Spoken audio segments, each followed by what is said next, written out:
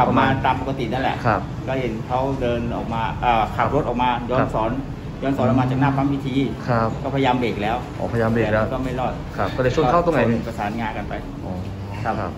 ที่หน้าปั๊มพีทีครับ ได้เบรกอยู่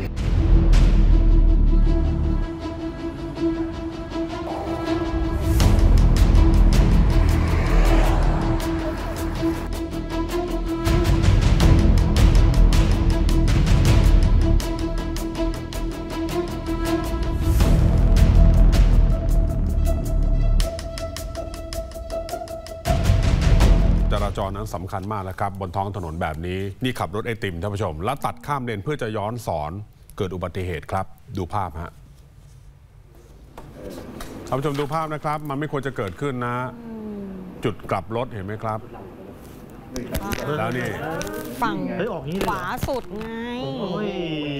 เห็นไหมดีหรือตีเขาเบรกทันนะนะเห็นไหมครับ คือเหมือนประมาทร่วมเหมือนกันนะคะ เพราะขวาสุดเนี่ยเส้นนั้นน่ะเขาไม่ให้วิ่งหรือเปล่า อืม เห็นไหมเขาไม่ให้วิ่งอะ มันมีลายตรงนั้นไม่ให้วิ่ง ใช่ แล้วตรงนี้ก็คือไปกลับรถในจุดที่แบบว่าย้อนสอนอีกเห็นปะ เนี่ยครับท่านผู้ชมถึงบอกนะครับว่าอุบัติเหตุจะจะเบาบางลง หรือว่าจากหนักก็กลายเป็นเบาถ้าเรารู้จักเคารพกฎจราจรนะครับเห็นไหมครับ มันก็กลายเป็นแบบนี้เลย ตอนที่เขาเลี้ยวไปเนี่ยท่านผู้ชมเราจะเห็นด้วยว่ากระบะสีขาวเนี่ยเขาชะลอแล้ว แต่ว่าที่มาไกลๆฝั่งกันโน้นเลนขวาสุดเข้ามาด้วยความเร็วไง นะเป็นรถอเนกประสงค์เนี่ยนะเขาก็ชนปุ้มเขาให้ครับปอค้ากระเด็นเลยครับอายุ 50 ปี รถไอติมไอติมหกเลยครับ พังเสียหาย ที่ทางหลวงหมายเลข 21 สายสระบุรีหล่มสักนะครับ ที่เพชรบูรณ์วันนี้คุณชำนาญครับอายุ 46 ปีครับคู่กรณีนะครับก็ ตกใจแหละครับ แล้วก็บอกว่าตอนนั้นเนยกำลังขับรถไปทำงานตามปกตินี่แหละ พอใกล้ถึงจุดเกิดเหตุนะครับ เห็นรถไอติมนะกำลังจะขี่ข้ามย้อนสอนมาแบบนี้